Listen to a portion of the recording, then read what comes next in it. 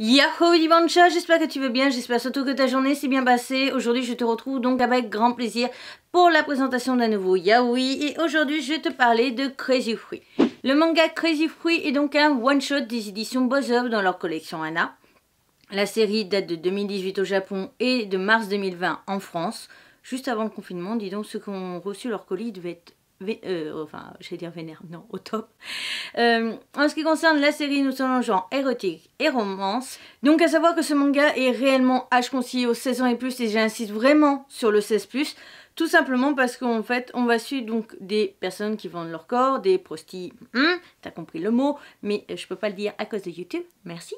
Et donc, du coup, euh, on va parler de ça, on va vraiment avoir un langage cru, des scènes 16 euh, plus vraiment on va voir ben, un vocabulaire creux qui va avec, qui va avec les scènes, qui va avec le scénario, qui va avec tout. Donc vraiment ce n'est pas à mettre dans des pattes de 14 ans. Merci pour ceux qui me le demanderaient. Non. La grand frère Ibi sera pas content. Très clairement.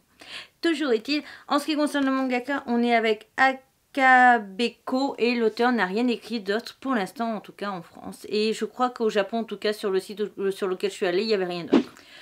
On attaque avec mon avis sur la qualité des couvertures. Honnêtement, ce n'est pas ça du tout qui m'a donné envie de m'y intéresser, même si j'aime bien quand même l'illustration à l'avant. Mais c'est un j'aime bien. Voilà, j'insiste bien. Pour ce qui est l'illustration à l'arrière, personnellement, je la déteste, elle me met très très mal à l'aise. Je ne saurais pas expliquer. Est-ce que c'est le regard, la langue dans l'oreille Voilà. Hein euh, après les côtés de jaquette, bon, on n'a absolument rien. voilà. Donc, euh, rien à dire. Le résumé euh, est pas mal. Après, on a vraiment un recueil d'histoires sexy à dévorer sans modération. Sexy, sexy, on n'a pas la même vision du sexy. Hein. Quand on enlève la jaquette, on a exactement les mêmes illustrations en rose. Et quand on ouvre le manga, on a encore l'illustration. Donc, très clairement, si j'avais dû mettre une note, parce que tu vas comprendre après que je ne mettrai pas de note au manga. Voilà. On réutilise, on réutilise, on réutilise. Là, euh, le titre, juste mis le, le sommaire, il n'y a rien à dire. Ici, l'illustration euh, euh, c'est l'illustration du coup de la première histoire, donc tu comprendras très vite pourquoi ce choix de position de personnage, etc. Donc ça encore, j'ai trouvé ça plutôt sympa. Après, j'essaie de voir les pages entre chaque chapitre, sont plutôt pas mal. Voilà une.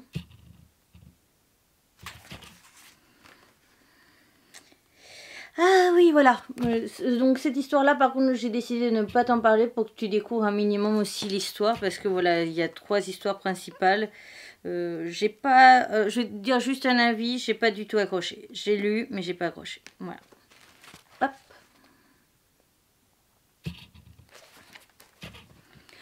Donc c'est tout en ce qui concerne mon avis sur la qualité des couvertures. Une grosse déception dans l'ensemble. Une très très grosse déception. Pour ce qui est de mon avis sur la qualité du dessin, je te dirais très clairement que ce n'est pas du tout le genre de qualité de dessin dont je suis fan, en tout cas pour du yaoi, même pour du manga tout court. Ça me fait penser énormément au niveau de la qualité de dessin à un vieux titre, donc c'est pour ça que je t'en parle. C'est Yuru, euh, euh, The Song of Yuru and Asa. C'est vraiment le même genre de qualité de dessin, peut-être légèrement mieux au niveau de la qualité, mais on reste vraiment sur ce genre d'illustration là, mais de toute façon tu vas pouvoir le voir par toi-même. Alors la première histoire en fait on va suivre vraiment quelques pages au tout début et après on va avoir un chapitre plus loin. On suit les aventures d'un prosti qui euh, donc euh, en fait euh, est un, enfin un mec assez populaire parce qu'il est super beau, etc. Sauf qu'il y a un de ses clients qui le demande un peu trop souvent et lui en a euh, vraiment ras le cul. Donc il décide un jour de passer par derrière la, porte de, derrière pour sortir. Malheureusement, l'homme en question euh, l'attendait avec un cutter et donc va le défigurer. On va voir aussi euh, qu'il y avait un vigile de présence, sauf que il n'a pas eu, on va dire, le temps de euh, s'interposer et donc il n'a pas pu le protéger, et donc il est défiguré et on va parler donc de ça. Ce que je trouve intéressant, c'est justement de montrer que bah, dans ce genre de situation, dans ce genre de milieu, bah, tu perds tout en fait. Si tu perds ton visage ou ta beauté, tu perds vraiment tout, tout ton travail et donc forcément c'est très frustrant, etc. Donc c'est ça qui est intéressant de voir, c'est comment justement va se passer sa situation. Pour ce qui est de la deuxième histoire et donc l'œuvre principale, parce que quand tu lis le résumé, c'est l'histoire d'après. En fait, on va suivre donc un jeune homme qui travaille dans un host bar, si je dis pas de bêtises, Et en fait, quand ils ont mal travaillé dans ce bar, en fait, il les euh, force à se faire violer par du coup des prostis euh, qui sont spécial gays.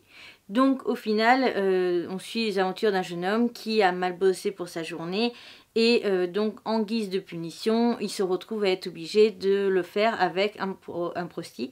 Et cet homme en fait a décidé vraiment de lui faire l'intégralité. Donc on va voir, et c'est là où je dis vraiment que c'est un scénario 16+, on va voir donc la scène charnelle euh, en détail, mais on va avoir aussi les explications de comment faut faire en fait quand t'es mec. Voilà, la petite préparation qu'il y a avant. Donc, c'est ça que j'ai trouvé vachement intéressant, même si c'est assez cru de la façon dont c'est fait, hein, euh, très clairement. Mais j'ai vraiment aimé ça, j'ai trouvé ça plutôt intéressant, justement.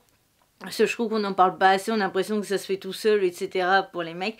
Alors qu'il y a quand même une petite préparation à faire avant, hein, voilà. Et euh, du coup, j'ai trouvé ça plutôt sympa, euh, surtout en fait, on le découvre et on l'a dans le presque, je crois, dans le résumé. Celui qui s'est fait donc violer euh, par le prosti, euh, après a du mal du coup à, le faire avec une femme et il le cherche désespérément, sauf qu'il n'arrive pas à lui remettre la patte dessus parce que tout simplement le gars s'est barré aussi de son travail à cause de ça.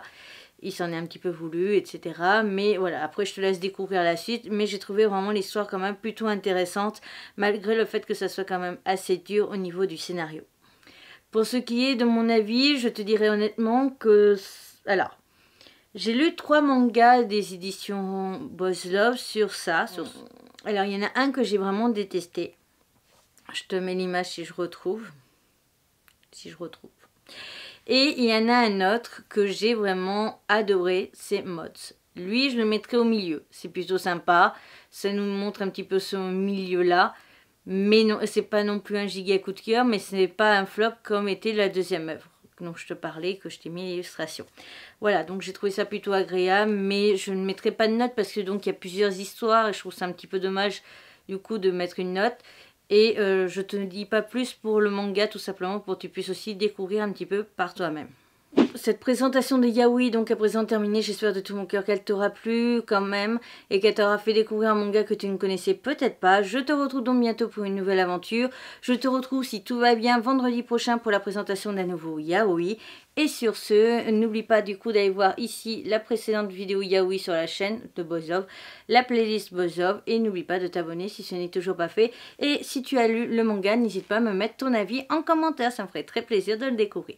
Je te retrouve donc bientôt pour une nouvelle aventure et on n'oublie pas de sourire quoi qu'il arrive. Bye bye